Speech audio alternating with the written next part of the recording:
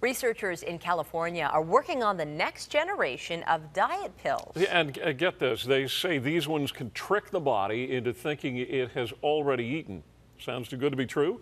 Our health reporter Pauline Chan tells us how it's supposed to work. I'll, um, I'll believe it when I experience it. Listen up, right? Ken Yeah. Michelle, thanks very much.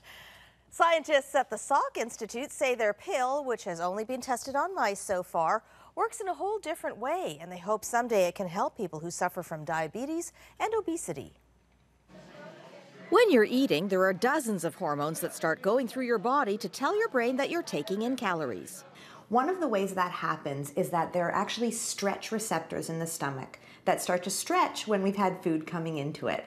Scientists at the Salk Institute focused on the intestine's role in releasing bile and digesting foods, and they've developed a drug called fexaramine, which they say triggers the release of digestive juices, in essence, tricking the body into thinking it's already eaten.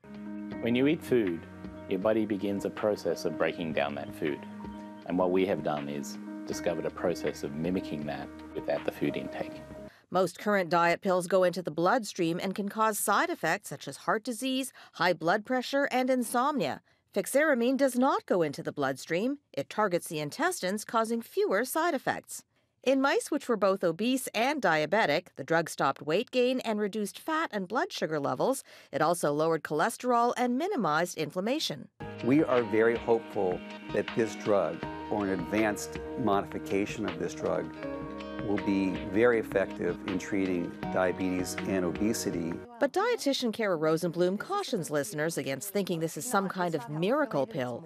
Even if this does work, right now it's in mice, it's studied in mice. Even if we find this does work, it still would have to be in conjunction with a healthy diet and physical activity. So there's no really easy way out, and people are always looking for that. And She says eating foods that are high in fiber, like vegetables, legumes, and whole grains, can also help trigger that feeling of fullness when you're eating and sustain that feeling longer.